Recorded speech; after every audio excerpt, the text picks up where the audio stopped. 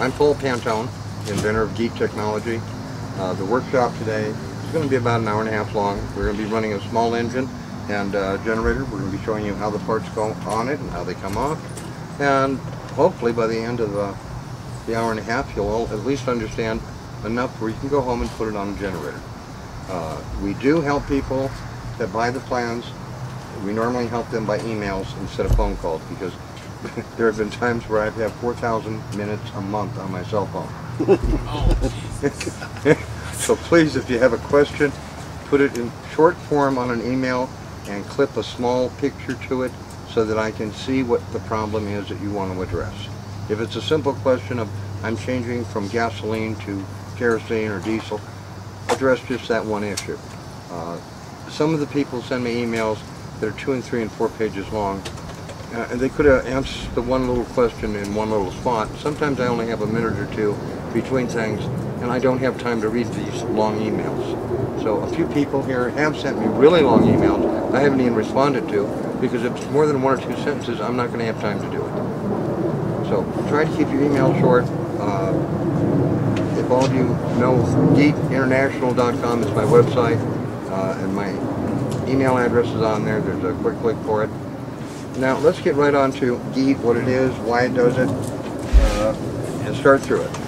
The first discovery I made with GEET that really had importance to be able to calibrate what we were doing so we can make it a little bit more scientific instead of just shoving pieces together hoping it worked was when we discovered it had an aura. I toured the United States for about three years with my wife and as we were touring around, several of the places had metaphysical people there and they'd come over and pick the rod up and go, oh, it has such a beautiful aura. I don't see auras. I used to as a kid, I don't anymore. Well, if it's got an aura, then we got to get Kirlian photography. Well, we were at a show down in Laughlin, Nevada, and uh, when we got there, the guy had a plate, and people were walking over and putting their hands on the plate, and it would change colors, and he'd say, well, the auric effect around there would explain uh, that you've got some problems with kidneys or liver or whatever. I'm watching this a little so let's see what happens if I throw the rod on there.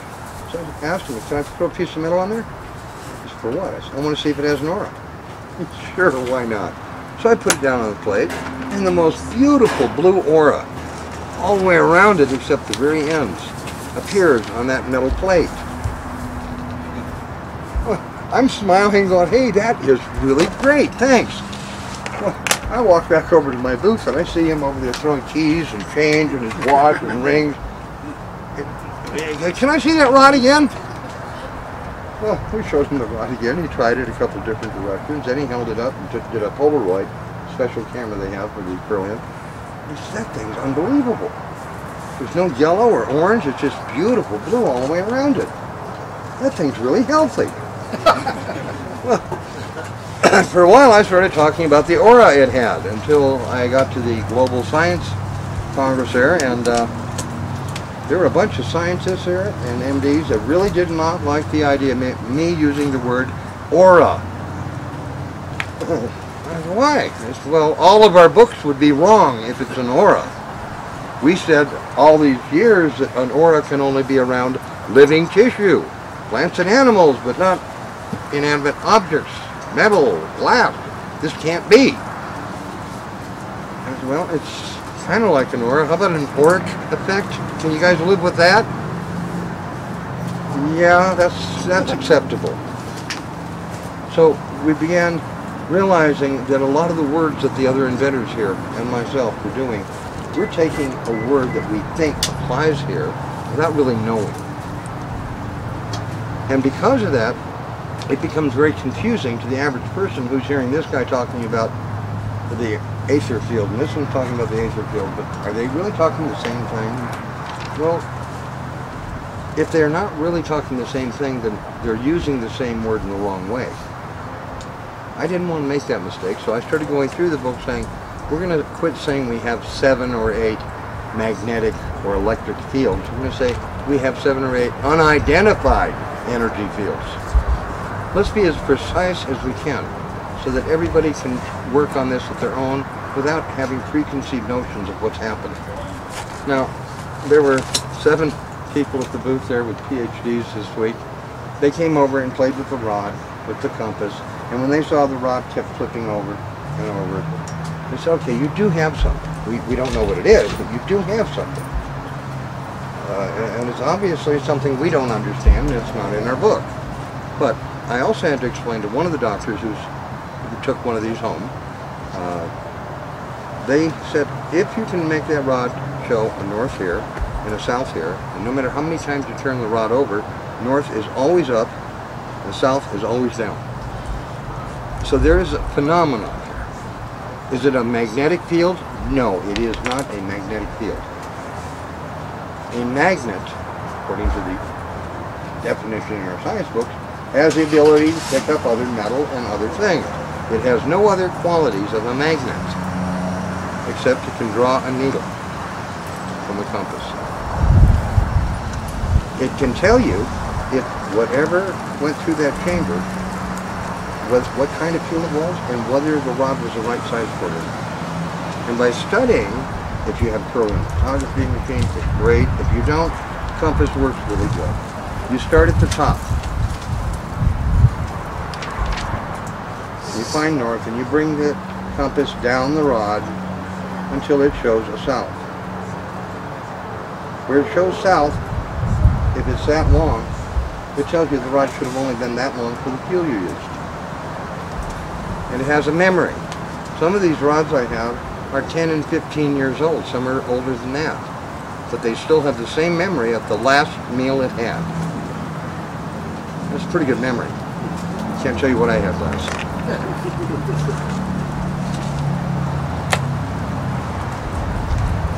During one of the shows in Pennsylvania, one of the people was playing with the rod, and the guy had, was in a wheelchair, one leg cut off. he's going, well, I hope this takes care of the pain way down here. There's no leg there, but he's waving it out there. And I said, what pain? He said, I have phantom pains here all the time. Well, we sat there for about 45 minutes to an hour talking, and he's tapping it on his leg, his stump after a little bit, he had to go to the bathroom, took off, came back, and he said, you know the damnedest thing? The bottom of my foot always itches. It isn't there. It quit itching. and we said, oh, okay. He said, no, no, it took away the phantom. Instead of having the same aura that he's always had, it changed the aura. So now we're trying to figure out, will this help other people with similar problems where they've had phantom pains for years and there's no limb there. We've had several people that have said if they carry the rod in their pocket, they quit having headaches. Uh, Aurora was here and she would like me to build her several hundred of these so that we can put these on nice little chains to put around your neck. Smaller than Missy. Nice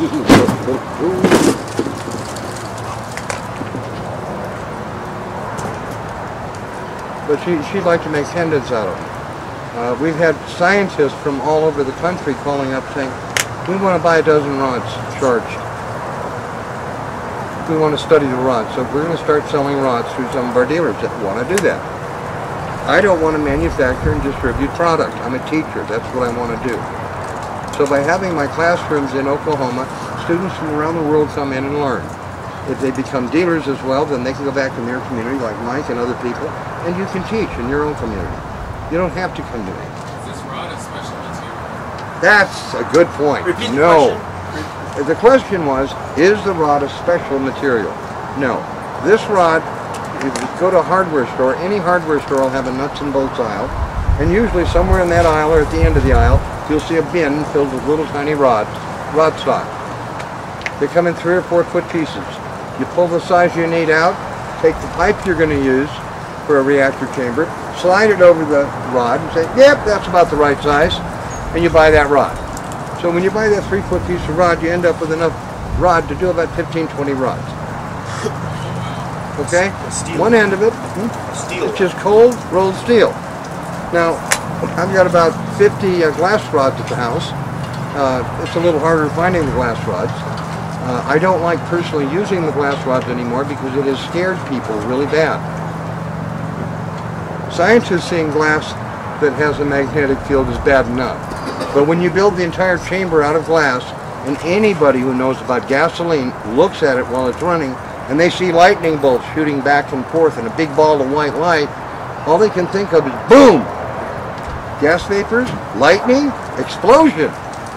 Well, you don't have that in a vacuum. But the brain doesn't function that way. The brain sees lightning bolts and they run. so I realized I was really scaring off a lot of people that wanted the but they were afraid of it. So we quit doing that. As we toured the country, we found the other phenomenon about the rod, so that you don't, so that when you ground it, you don't draw in helicopters and FAA. Um, we also found if you don't ground it, you can't have a credit card in your pocket when you lean over it. Your credit card doesn't work. Now, some of us are a little bit more hard-headed than others, and sometimes I'm real, really stubborn. So I'd be at a hotel like this doing demonstrations. I pick the engine up, put it up on a table, and my room card's right here, and I run the engine. Now my legs are sore at the end of the day, and I start walking back to my room. Get back to the room, key doesn't work. Oh darn it! Go back to the front desk. My key doesn't work. They try to reprogram it, hand it back to me. There you go, sir. I go back to my room, and it still doesn't work. I go back down. No, it didn't work. Third time. Finally, it dawned on me. Wait a minute. I've wiped out the card. It can't be reprogrammed. Throw it in the garbage and say, may I have a new key? That worked every time. So when I realized this the best was Dr. Wood had come by my house to analyze what was happening. And he's had years, uh, 35, 40 years teaching automotive technology. And he's in the garage watching my engine run. Totally blown away because we're running on crude oil and soda pop and everything else you could throw in a fuel tank. And as he hears the sound of a big engine go by, he turned and looked at him. Oh, Mopar, yeah. And he's telling me what kind of engine and everything about the engine as it's driving by. But he had gotten his wallet right next to the reactor, about that close to it. When he was all done looking at what I had, he said, you know what? I am so impressed. I'm going to go down and get a couple hundred bucks for you, just a donation to help you out. I said, that would really be nice, thank you. Well, he takes off. I'm back about 30 minutes later. He says, I'm really embarrassed.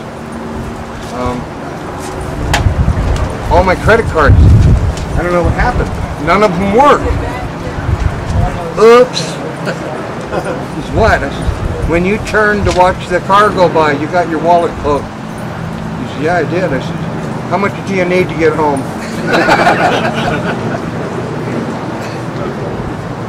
After I told that story in Denver, there was a guy from New York out here with his wife, and she kept wanting to go shopping. He wanted to be at the conference. And she kept, well, you want to buy those plans, I want to go shopping. He said, okay, just a minute. So he make your deal. Start that engine up right now at this booth. Let it run for about four or five minutes. And I'll buy the plans from you right now. Okay. So I start the engine up. He says, honey, come here. So she walks up to him and he throws his arms up around. He says, let me take that over here. No, you don't need the purse right now. Give me a big hug. He's got the purse right up against the reactor. gives her a great big hug. And he says, now you go shop. If you want, you can go spend two or three thousand. I don't care. Get a nice coat. So she's walking out of there going, whoa, yeah, buy your plans. I don't care. Well, about three hours later, I'm done going over the plans with him, and I see her coming through the back door, bags, wearing a beautiful fur coat. I'm sitting there going, oh, God, he's going to want to beat the dickens out of me for this one. and she walks up and says, honey, look at, oh, you got, uh, you're busy. When you, when you come up later, you got to say, I bought some new dresses, and I bought this, and I bought that. And the look on his face, oh, I'm so happy, dear. That's a beautiful coat. Oh, did you keep it within your budget? Yep, just under 3000 Oh, he said, but the funniest darn thing, none of our credit cards work. Said, how the heck, on a weekend, we're from out of town, how could you get anybody in this town to take a check? She's a temporary manager over at Macy's.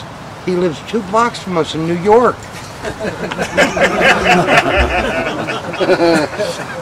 Touche. He, he took a personal check. so, uh, after she walked off with all of her winnings, he looked at me and he says, now I'm in deep trouble. Start the engine again. That's for what? He says, if I don't erase my cards, it's going to look suspicious. so we have found that credit cards are wiped out very quickly if you do not have it grounded. To ground it means where the reactor is sitting, piece of copper wire clamped on down to the engine. That will ground it. It will not short out or wreck your credit cards. If you get a digital camera and you get really close to it, don't plan on ever using the camera again. I mean really close. Six, eight inches, you're in trouble. Uh, if you take a computer and take the rod and put it on top of your computer, don't plan on using it again. We wrecked four of them in four days. Because my assistant, when he took the engine apart for people in my living room, would take the rod out and set it on top of my computer. I didn't know it. I was in the other room doing other work. I'd come back in, computer wouldn't even turn on. I kept calling the guy, hey, there's something wrong with this computer. It won't turn on again. He came over, new switches, new circuits, and everything had to be replaced. He, none of the, nothing was usable. Now, years ago, I went to a conference up in Blaine, Washington, and Dr. Jeane, or not Dr., uh, Jeane Manning, an author, was present, and she and Dr. Malab and a few other scientists were there, and one of the scientists had been brought in to debug anyone who had anything to say about a new product or technology, and he was to play devil's advocate to prove that they didn't do their testing proper. And he was good. He has several of those PhDs coming off stage in tears.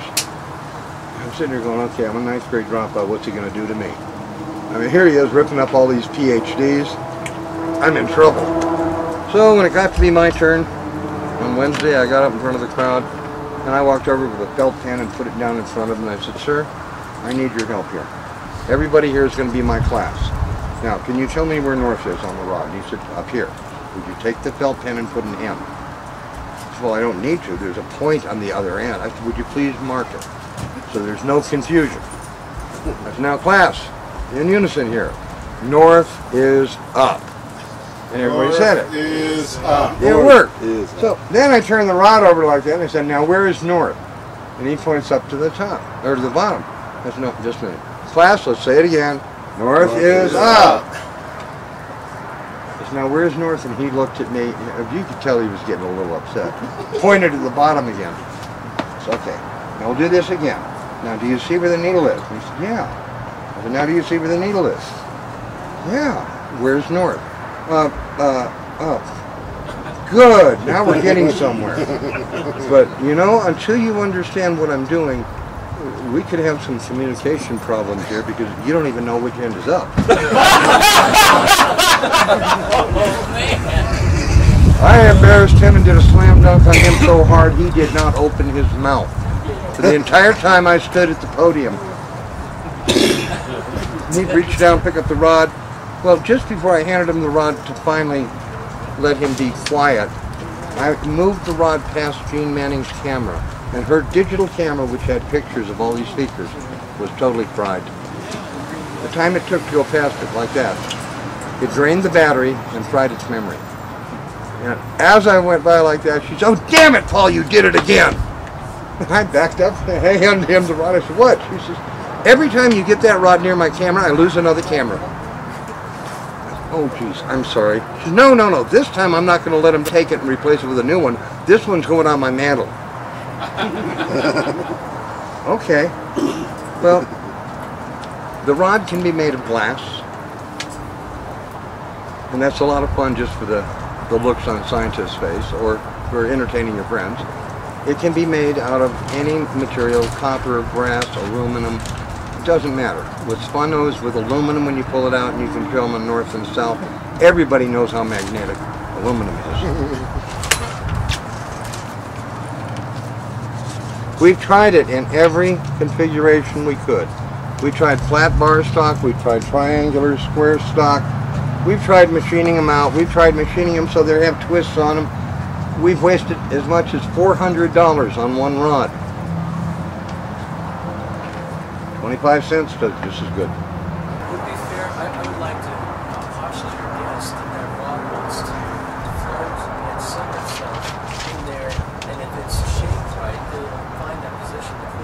Yes. stay there and be stable so when you accelerate, decelerate, Yes. it won't even move. Oh no, it has to move.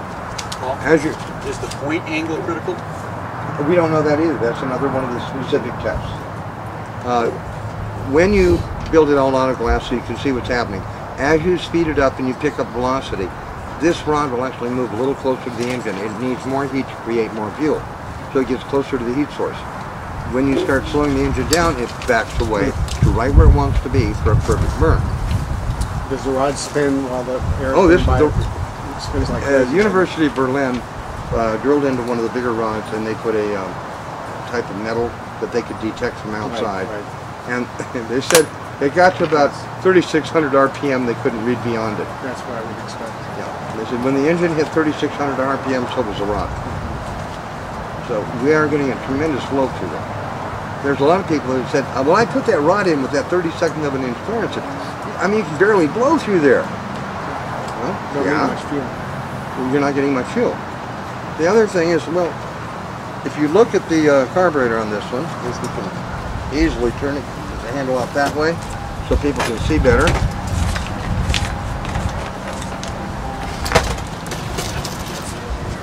The carburetor opening on this right now is smaller than a quarter of an inch.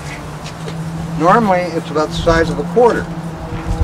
That's about the same size opening you need if you were powering a 350 Chevy. Now, when Dr. Grant Wood came to my home and to my shops, we were running a 350 Chevy hooked up to about a 25 kW generator, and it was idling. And he stood there for about five minutes, and he said, I'm really in a hurry today, Paul. Would you please start the engine up? Said, It's running. And he looked over at it, and the fan blade is just barely moving.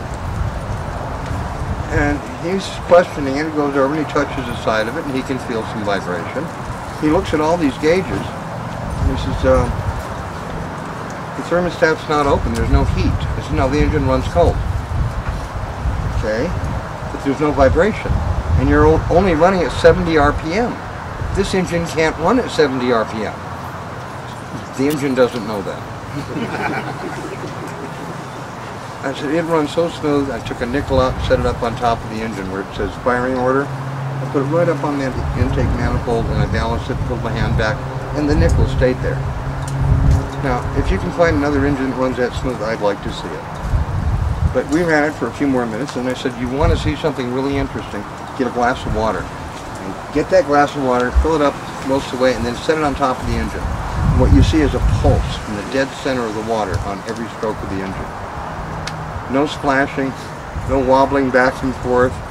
Perfect dead center every single time pulse. So I've never seen anything like this. You, you have something here. What is it? We're still trying to figure it out. Back then we were. If you'd asked me in 1983, what is it? Beats the heck out of me, but it works. It, it's a pipe with a rod inside it and the exhaust goes around it. Did I need to know more than that? No. You want to buy one or not? And that was about the uh, bluntness of my sales pitch back then. Do you want one or not? Do you want to build one or not? Well, how'd you, for those of us who don't know a lot about this, how'd you find this, or how'd you discover it, or what led you to it?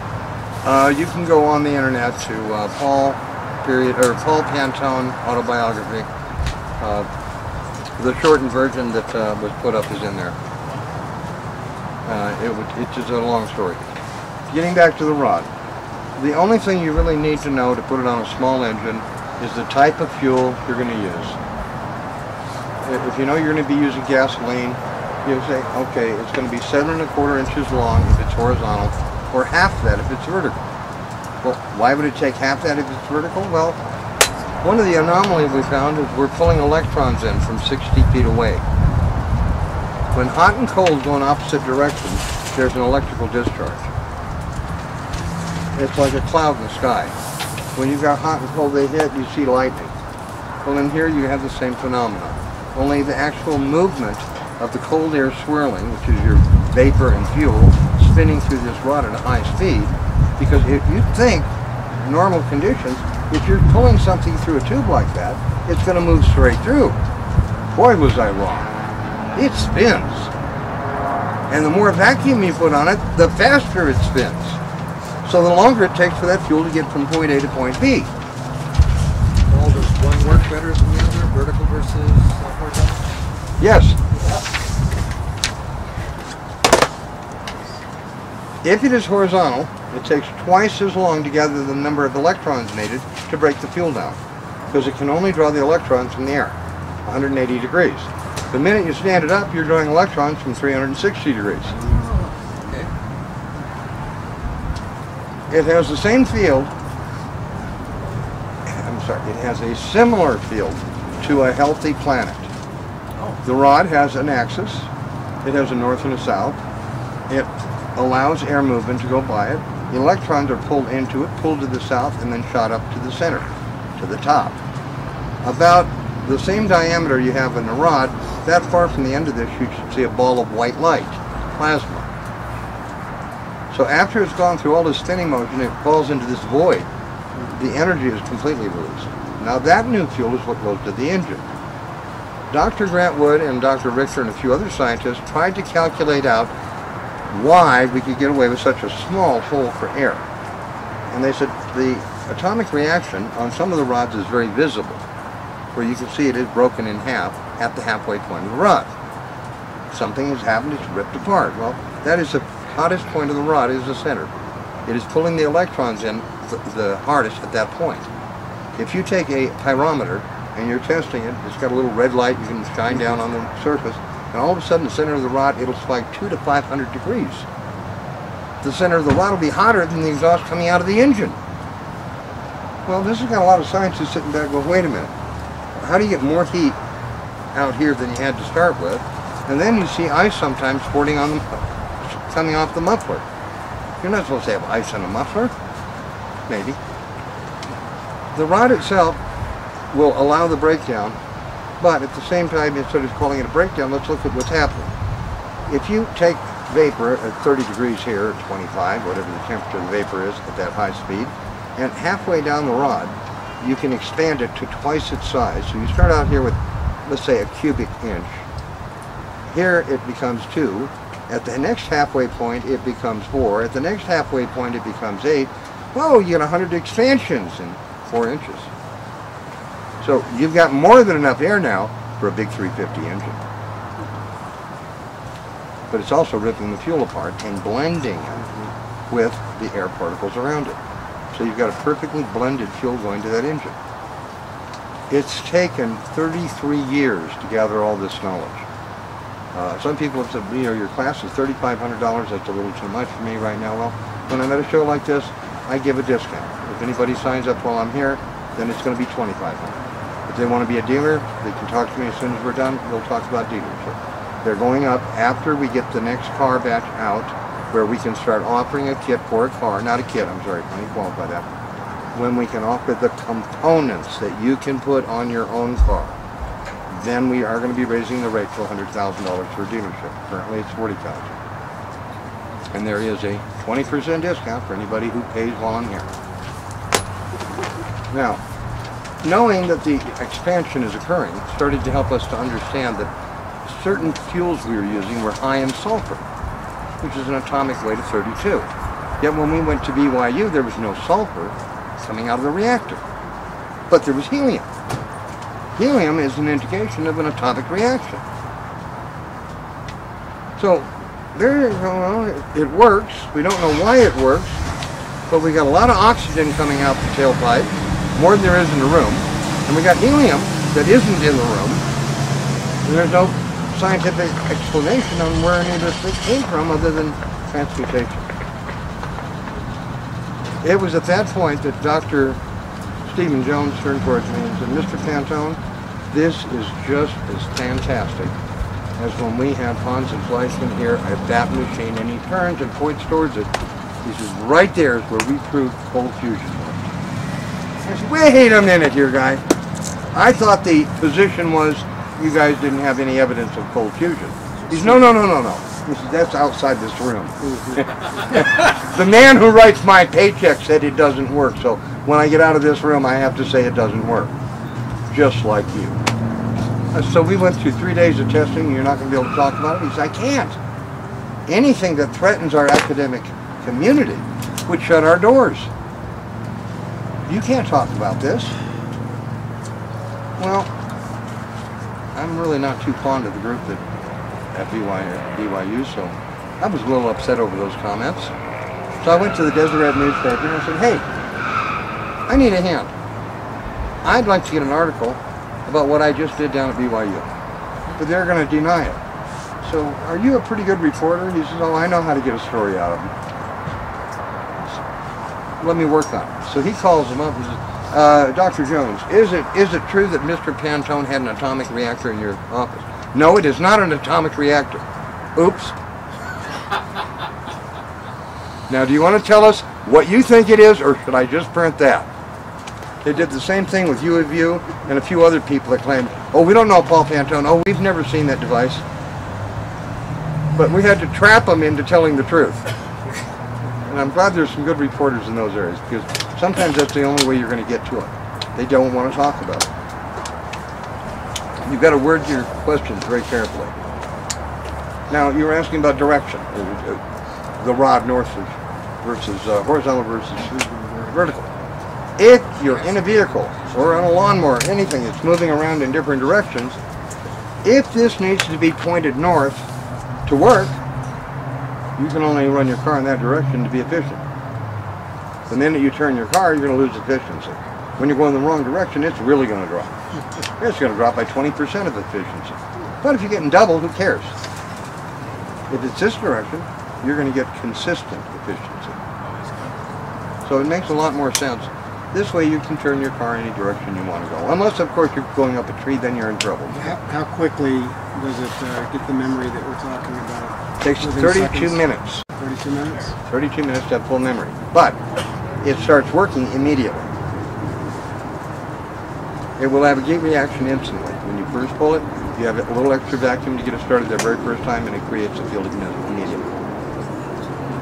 Now, we have a big generator that uh, I left in Utah because I didn't want to haul 18,000 pounds anymore. I left a quarter megawatt power plant at my ex-in-laws. And uh, that one had ice on the exhaust pipe about 15 or 20 times during demonstrations. Uh, one of the demonstrations was for Utah Power, Bonneville Power, Tennessee Valley flew in, and uh, Nevada Power. And they spent the whole day there. We ran the engine for them on all kinds of things. They had their own analyzers. And they said they didn't want to report back what they'd seen there because uh, right now we're too tied into coal and oil and different things and fuel and we can't do anything more than a 5% increase in efficiency or we're going to be disrupted and we're going to have enemies, big enemies. So they wanted something that would only increase the efficiency of the power plant up to 5%, but reduce the emissions by as much as you can. I could reduce emissions to zero, but when you get to zero, you're getting better than double or triple. You're going to be a lot more efficient than that. So there's a compromise, and they said, no, we can't have a compromise. We got to reduce emissions without increasing the efficiency. So we can keep wasting fuel. So we've had a problem there. Uh, now in America, the biggest problem I had for the first 10 years of selling plans is people in this country want more horsepower. People in Europe are going, we want more economy.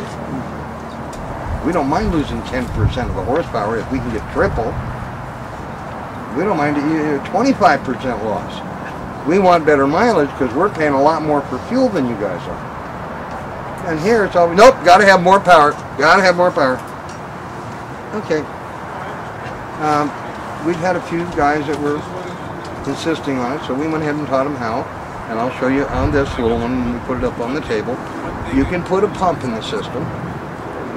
But if you do, be careful what you wish for. I have had the 10 horsepower engine hooked up to our analyzer with scientists in the room and mechanics that when we revved it up to over 12,000 RPM, they all hit the floor or hit the door real fast. They're scared to death that there isn't going to be anything left. We've never blown an engine up yet with that. But it sure is fun. But my favorite thing is when you've got couples. The women will stand right next to me. And the guy's over on the other side of the bench with all the equipment. And when I rev it up, the women still stand there. They don't know any better. It sounds like a sewing machine. Hey, that's nice. She quietens out after a little RPM. But the husbands are diving under benches, diving out the door, running down the street. Uh, it's, it's a lot of fun. But I really don't like scaring people. I'd much rather give a presentation that is proper. Therefore, I don't use blasting demonstrations. We've had too many people that are afraid to use license plates. Can I ask a question? Yes. Are there same restrictions in Europe than here in the United We have the same problems in Europe and the United States and Canada that the government does not want it on vehicles. But if you're going to put it on your own car or your own equipment, and you're not going to sell the equipment, it's all right. But they really grumble. But if you go any better than the 50% or 60% increase, you will have problems. They will confiscate the vehicle. They do not want high mileage vehicles.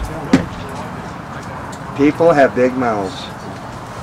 The only reason those three guys are dead from years ago is they opened their mouth.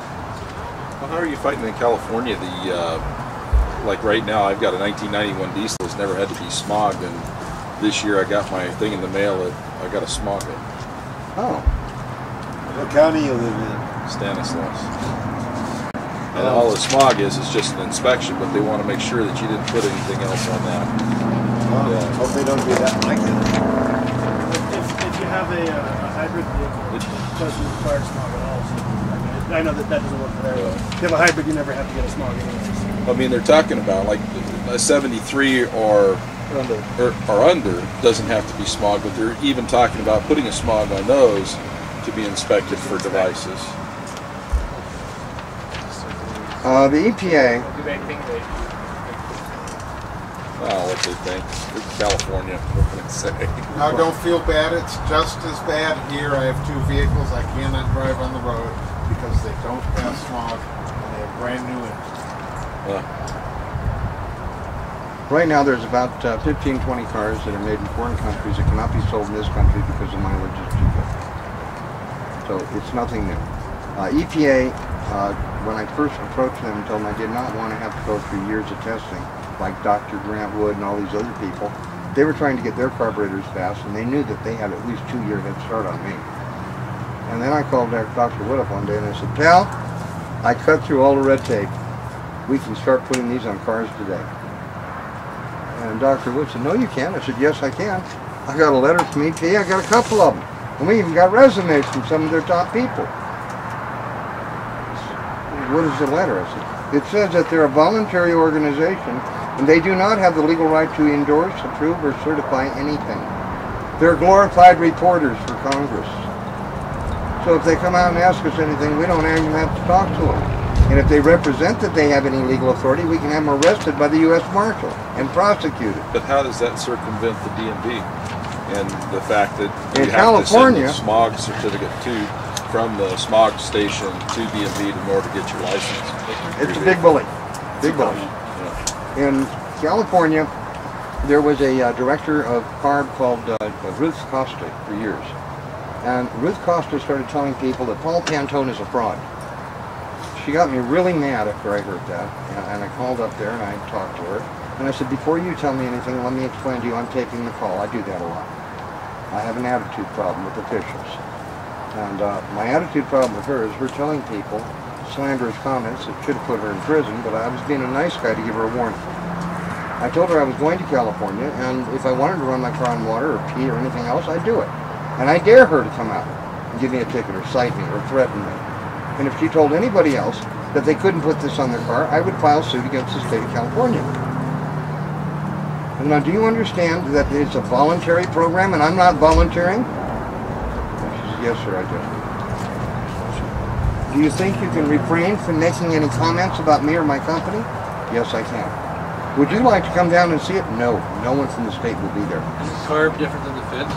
Yeah, it is. But I started with the feds. They're the ones who told me CARB had no legal authority. They've been bullying people into believing they do. They set up the Air Quality Control Board. It's nothing more than a way that Brown and Brown of Beverly Hills could control all smog control equipment in the state of California. And they suckered the Californians into it. They told them they were putting smog pumps on their cars. Why? Because the law was passed when a certain Brown was in office that said No car can be sold in this state unless you have a 50% reduction in emission by a certain date. Well, none of the car companies could do it. Brown's firm says, yeah, you can. Put a smog pump on there and it'll pump 50% more air in the pipe and you're going to have half the pollution. we fell for it. Yeah, everybody's got to have one now. And I wonder how many millions it made in royalties per year. I'm sorry, it's all dirty politics. It's all, the, whole thing is dirty politics. So We've had solutions we for a hundred our- years. How do we get our uh, slightly uh, enhanced uh, vehicles to pass this uh, committee? You go in and get rejected. Now at my school I do have copies, I've got volumes of books, but I have copies of the refusals when they said failed smog test, zero emission. You take that to the state and say, excuse me, I didn't have any emissions and I got failed. You need to give me a waiver. They give you a waiver. Thank you. And even in California, if your car pollutes too much and you spend 300 or 350, whatever their magic number is, trying to fix it and you don't, they'll still give you a waiver and you can drive your polluter down the road. But Four walk in feet. there and tell them you're too clean, they're going to put you through the seventh degree. Been there, done that. So you just tell them it didn't pass. Mhm. They don't have to look at the No. numbers. Oh, Some of them will come out, I got to see it. Now in Utah, they pulled the same stuff with me, and the guy there in the uh, Utah Air uh, was telling people they couldn't put it on the car. When I called him up, I taped that conversation, and I told him I'm taping him, and I said, it's the only way I can deal with people like you. But you had no legal right to say that. If you say it again, I'm going to prosecute you personally, severally. I will own your home. Now, is that what you want? Uh, this isn't a threat. This is a promise. I don't like idiots that lie. And I, he was getting madder and madder. He said, Mr. Pantone, you're correct. Bring your papers in. We'll, we'll approve whatever papers you have. We know it works. When they test, do they, do they have to look under the hood or just just? If you have modified it from factory equipment, they have to look at it to be able to say, yes, it has been done. They have to have a reason for a waiver. Yes. What's, um, where do you put the rod? We've got I'm about 45 minutes we're gonna left. take- Not the technology. Huh? So we got about 45 minutes left and we still haven't gotten into some technology. Well, we're going to be pulling it apart here shortly. Uh, do you want to grab the tools? Sure, So you can right take. behind Oh, we're going to start the engine up first. Let it run for a few minutes, and we'll go ahead and take one apart. So you're going to need to turn the camera over towards this little engine here. Move uh, the engine somewhere. We put it on the table? Um, yeah, we were going to put it on one of the. We can set it set it back about three feet so everybody can Put see. it right where that gas tank is? No, when we take it apart, I'll put it back up on the table. We're just going to run it a few you put it minutes. right there? In that space? Oh, right here? Yeah. Do you have gas in it? Uh, there, last time we put, put a little bit in.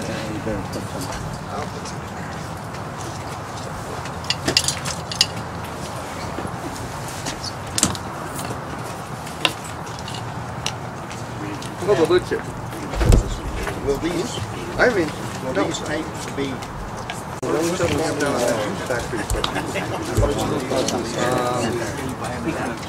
I did. Yeah, most of when I it. buy the package, All but the carburetor. Actually, one way was different. Sir, can I get you to cheat, cheat towards the camera so you're not, you're back? Oh, I'm sorry. There you go. You want to talk about what you're doing, why you're doing it? Okay, well, there's two valves here. One's the throttle and one's the air intake. You got to open those up a little bit to go. The valve at the far end allows fresh air to be sucked into the bubbler, down to the center of the bubbler at the bottom. It then bubbles through whatever liquid you have in there.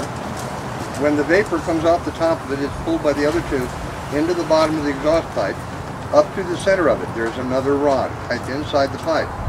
The exhaust comes out of the engine, travels about six inches, comes down, and comes out here, and exits right here. Now, when we got here yesterday, uh, we pulled that rope and filled the entire cylinder with sugar, soda pop, gas, and whatever oils were in there. Because someone had switched my hoses around. And in 33 years, nobody had ever done that. So it was somebody that was at my home before it got loaded up to come to this show. So somebody did not want me to run the engine. Luckily, we had somebody here with some tools. Didn't mind taking it apart and cleaning it up so we could run it.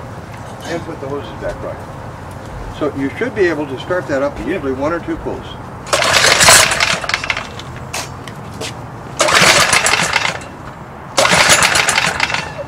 Too much air. That goes in a little. Yeah, about there.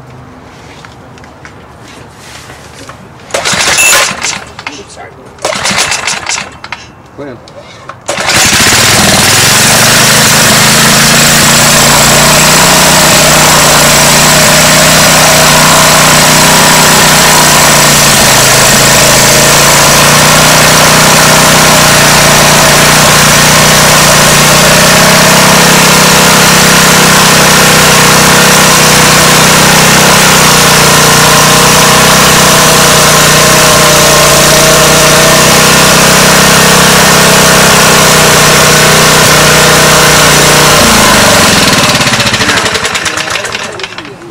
Without touching the valves, people can come by and look to see how far open each one of the valves are.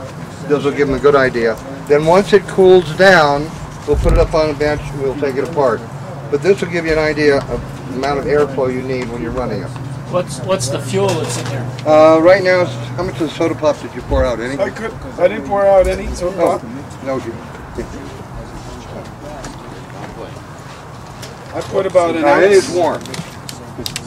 Put about an ounce of fuel in there. Gasoline, soda pop, uh, anything Soda else? pop, oil, coffee, and sugar. It has soda pop, coffee. And so he's got all kinds of nasty things down in the bottom of the water gas. In that water? This is mail water. With a little bit of gas? If you're doing it for an automatic feed, you have different carburetor on there. So that you can totally check out. It's reacting. It's reacting here, but the exhaust comes out here. Yep. The, the gas goes this way, inside of the exhaust pipe, totally isolated from the exhaust, um, and then into the intake. The exhaust goes this way. Oh, I see. So and then So there's a pipe inside of there. and then there's even and the rods Inside that pipe, inside of this pipe, goes This rod. rod. So there's three layers. Cook it out for people with. Why? It's just for making compact. Put it all together like that, or maybe you could have the three layers like that. Is No, you, well, the three layers in the opposing directions of the gas flow and the exhaust flow creates that neg- negative field, Oh. which creates the reaction. So, Yes. That's what I mean. Yeah, the exhaust comes out of here, the exhaust goes down and out. And the gas line follows it. It sucks the fumes off the top. Schematics of this is kind of runs it through, and then like uh, WikiLeaks or something like that. exhaust pipe. It has the So- ability to so- broadcast things that aren't supposed to be broadcast. that's just fumes. Yeah, so it draws it from the top of the jug, not from the bottom. So it's just taking in the fumes Most of the planet. that's created by the bubbling action. It would also be giving it your GM Ford Snap, so- okay. So then that comes through and then it penetrates the exhaust, but it isolated completely from, so they're not intermingling. It would be a Totally disaster. you know, isolated from each other. It is better to get it out slowly. Because, uh, Is it tube inside of it? yeah, so this, these threads are drilled out. Okay. Well, it's not running. Well, where is it? Oh, In a few. Let me check and see if it works. Well, you don't want to use a computer there. The rod by itself took out a computer. Probably. All right. Okay. It's good. We'll get back to putting it on the temp bench here in just a minute. We had a couple questions that were thrown at me. Okay, what was your question again? Uh, first one, what about the wear on the or on the engine? We're on the engine. We've been getting about 10 to 15 times the life out of an engine compared to normal expected life of the engine. The original 10 horsepower engine, which has over 7,000 hours on it, according to Briggs & Stratton, should run about 600 hours. But that was providing I changed the oil at least once every eight hours. I've never changed the oil. Uh, my Suburban, I drove it 85,000 miles. I never changed the oil. One of my mechanics, uh, Mike Holler, decided he was going to change the oil for me one day and do me a favor since we had come in from the long trip. And he also realized there was a hole in the radiator hose. It looked like somebody had stabbed it. So he took the hose off and put a new hose on. And when I came out to the garage, I said, what are you doing? He said, well, there was a hole in your radiator hose. I said, yeah. I did that when we started the trip to prove to people the engine never heats up. Oh, if the radiator, the thermostat never opens, you don't need a radiator. And on diesels, we didn't need a radiator. But you also don't have heat. You need an electric heater in your car. We found that out the hard way. in Lansing, Michigan, we had to get a hair dryer to defrost the windshield, while a couple guys ran down and bought us a couple little tiny heaters we could put on the floorboards. So there are drawbacks. Be careful what you wish for. We wanted good mileage, and we got it. The, the exhaust, if you have the perfect length rod for the fuel you're using, should have zero heat coming out of it. Should be the same temperature as the ambient air. If you aren't getting a perfect burn, you're either going to have ice on it, or you're going to have heat. Now you use this on both carbureted and fuel injected engines? On anything that uses fuel, even boilers and furnaces. Does the motor have to be at full compression ratio? No. Well, the big engine we demonstrated for uh, the power companies when they came to my home is a V8. The piston's seven and a quarter inch. It's a Waukesha. Uh, my brother-in-law was supposed to be helping me that day, and I asked him to take all the old funky-looking wires off the spark plugs and change it to new spark plugs. It was a diesel that had been converted for natural gas. We left spark plugs on it, and I told him to change all the plug wires off. He took all the plug wires off about a half hour before Fox News got there. Then went to lunch. and I didn't realize he hadn't put the plug wires back on, so when Fox got there, I went out and gave them a demonstration.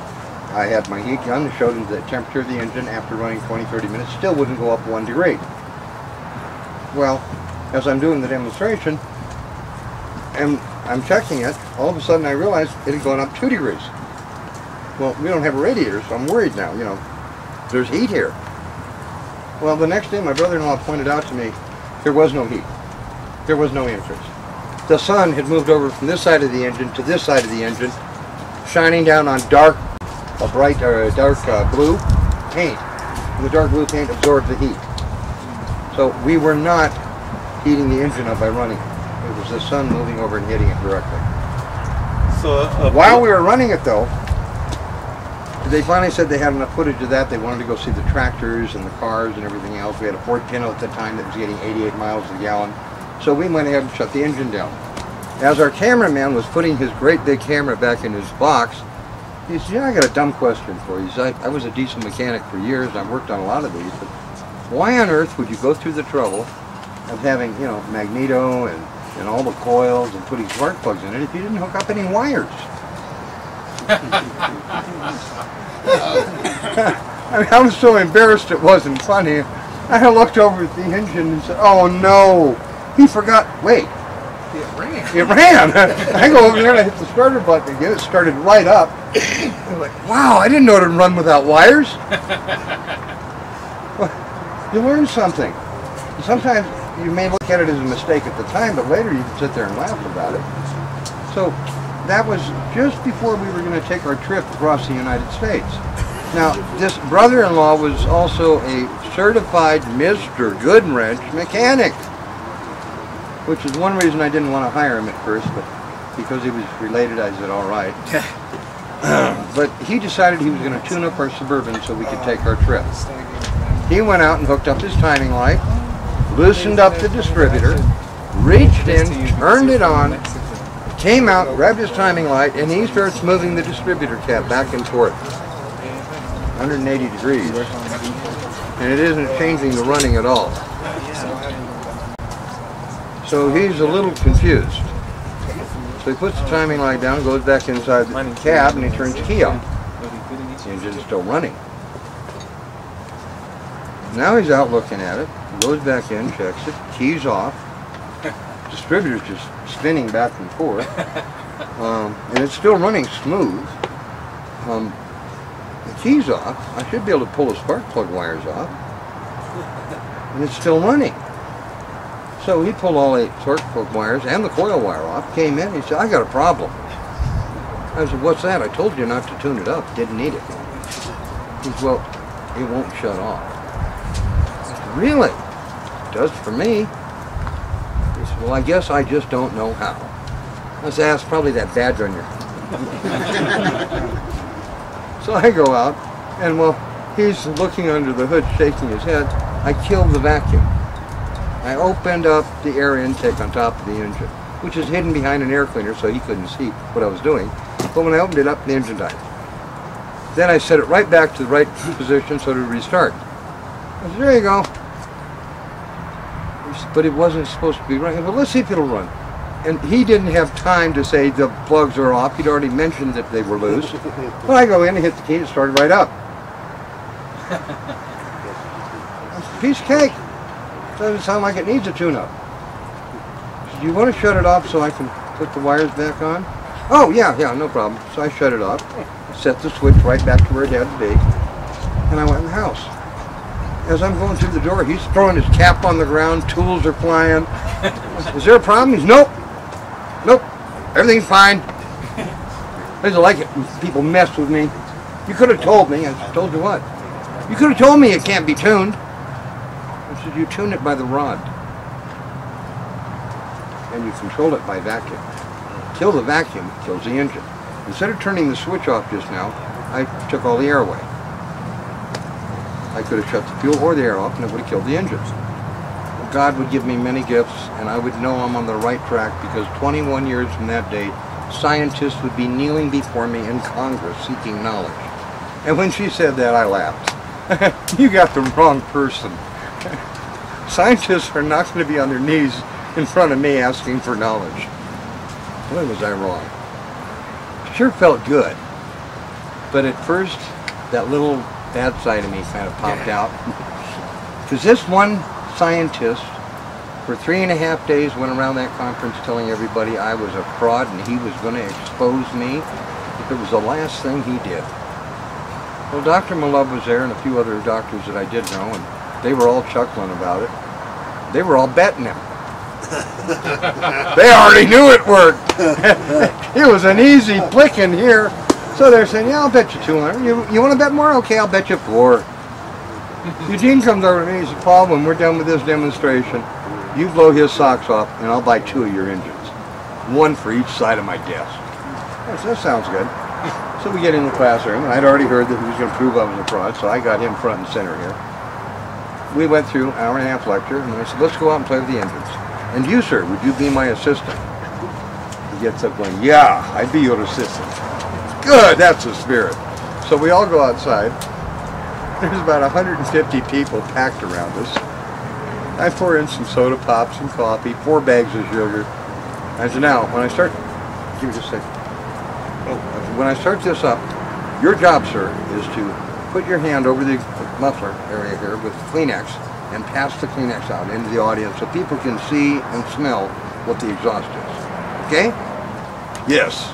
Good. So I start the engine up. He's got a box of Kleenex there. He's on one knee and his foot, and somebody bumps into him as they're going around. It was just elbow to elbow. He starts to fall over, and as he does, puts one hand down on the pavement, the other one right on the muffler. Well, he pulls up as fast as he can and stops, and he touches the muffler a couple more times, and he says, what, what is this? And I looked at my wife and I said, now it's time to get even. And I looked down at him and I said, that's a muffler. he looked at it back up and he said, I know it's a muffler, but it's ice cold. Isn't it supposed to be? No, it's supposed to be hot. Really? The engine doesn't know that. he jumps up, and here is this short little stocky German guy shaking, and I, I'm look. I, there's no place to run. I'm oh no, I'm going to get lights out. Well, he's standing there shaking. He's, you, you are making a fool of me in front of all of my colleagues. I said, no, you're doing a good job all by yourself. You don't need any help. he took off back in that building and damn near ripped the door off the hinges going in.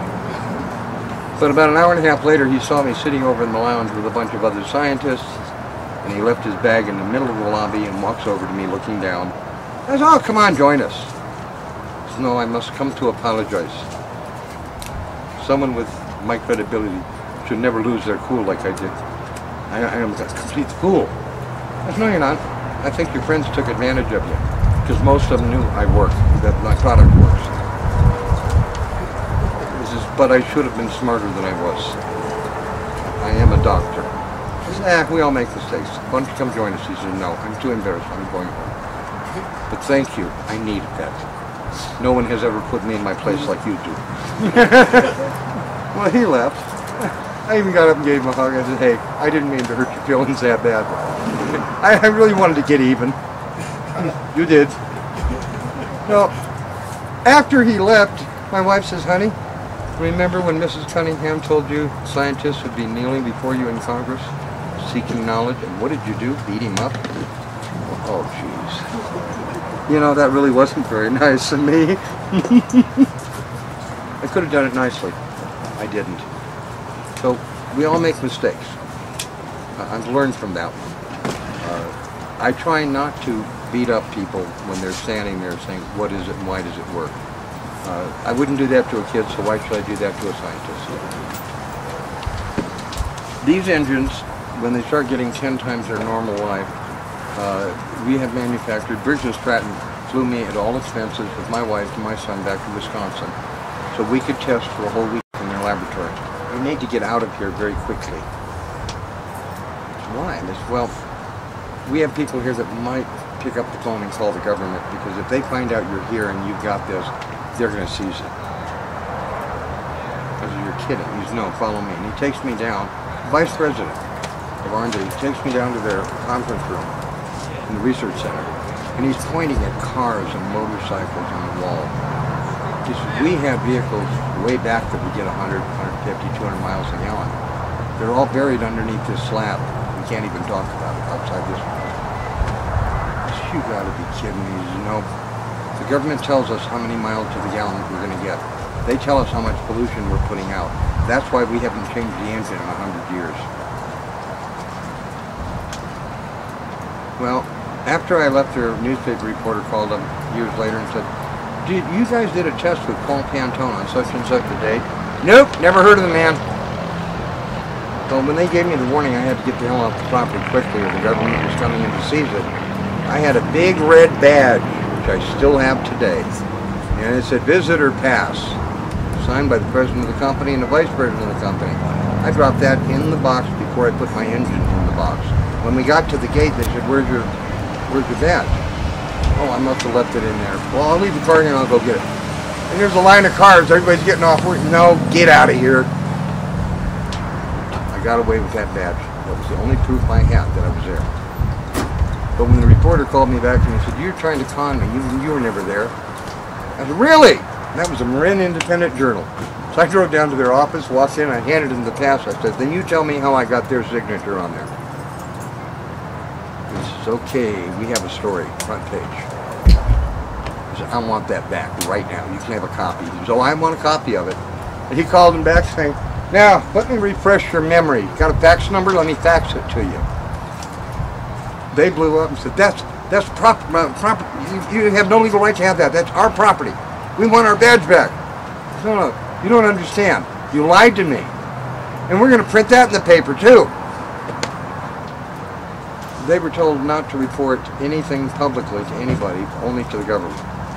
And for that, they sell a lot of engines on paper that never get delivered to the military. We're talking millions.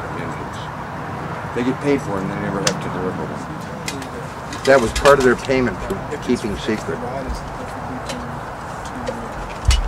Now let's see if we'll balance up here.